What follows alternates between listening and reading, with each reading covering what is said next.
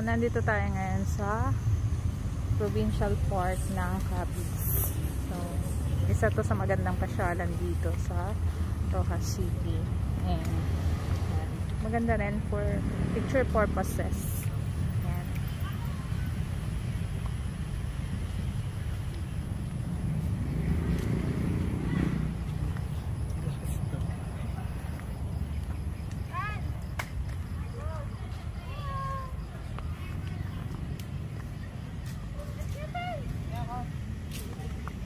Ayan.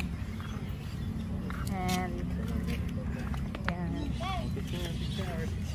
ayan. And then, one of the relaxing uh, na makikita mo dito sa provincial park ng Rojas City is, ayan o. Oh. Ayan. Ayan.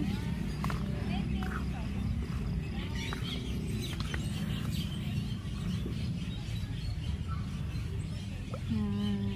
Yan yung mga Japanese koi na uh, additional attraction inside of the Roja uh, Provincial Park. And then, syempre yan.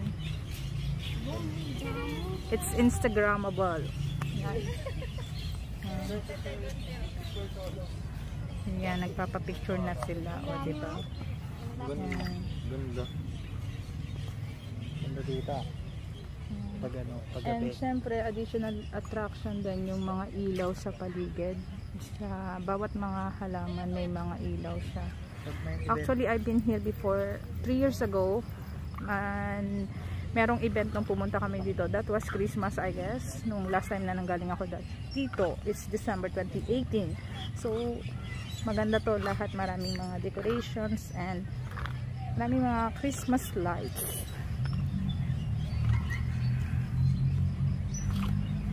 Wanna say hi to my vlog, Nathan?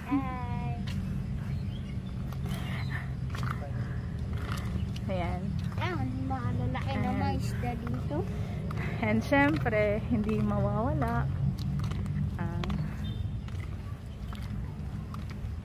yun. Ganda dito. Pag may event, binubuksan nila Ah. yung ano dito. Magandang mag-date dito. yung mga magjowa.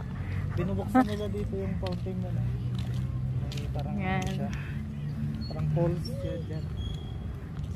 Ah.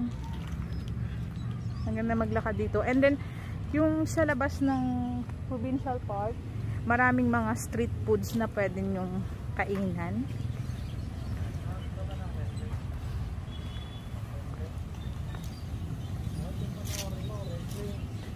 Ito ay meron ditong ito titingnan natin kung saan ba yung daan dito. Ito, ito. Yan. Ang daming ano dito. Ayan o. Ayan, ang ganda. oh, Captured Ang copies. daming mga Captured copies. Yan. Ayan. And then, Magaling siya. yan, meron ding mga Kubo. kubo na Malingan na nila dito. Pwede kayong mag stay and then syempre ito yung sarado sila today kasi syempre gabi na. And yan. Capiz Tourist Information Center and Specialty Shops where you can buy uh, souvenirs and pasalubong items. Yan, ayan ito and then syempre ah, pupunta tayo naman dito sa kabilang side Pwede ba tayong tumungtong sa grass? Ha? Pwedeng tumungtong sa grass? Pwede ba? Kasi parang anong tungtungan yung grass? Ayan o. Lahat ng mga ah, may mga ilaw. Nathan, halika dito. Nathan. Iyan. Tan, halika. Natatakot ako iwan yung apo ko kasi gabi na tsaka maraming malalaking puno. Yan. Yan. O, diba? Ang ganda.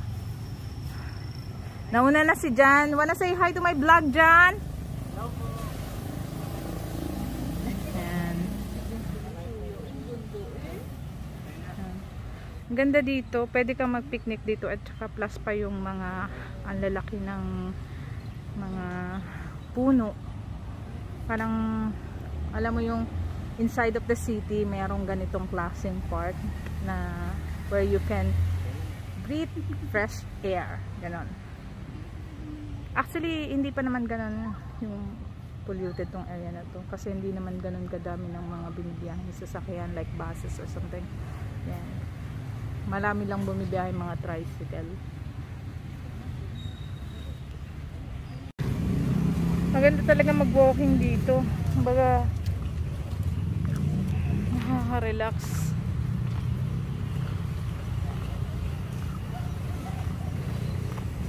And nakaka alam mo yun nakaka nakakatanggal ng ano yung stress yung syempre kapag nasa loob ka ng bahay sobrang init ng weather. And then at least in the night kapag lalabas ka makakamoy ka ng ano yung parang sariwang hangin talaga ganyan. Kasi maraming puno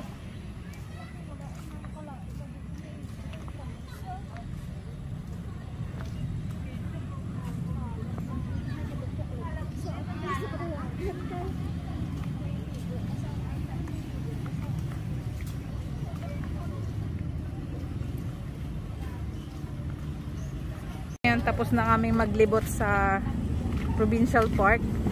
So, actually, saglit mo lang yan. Wanna say hi to my vlog, guys? Hi everyone! Ito Jenny's World! Jenny's World! Tara na.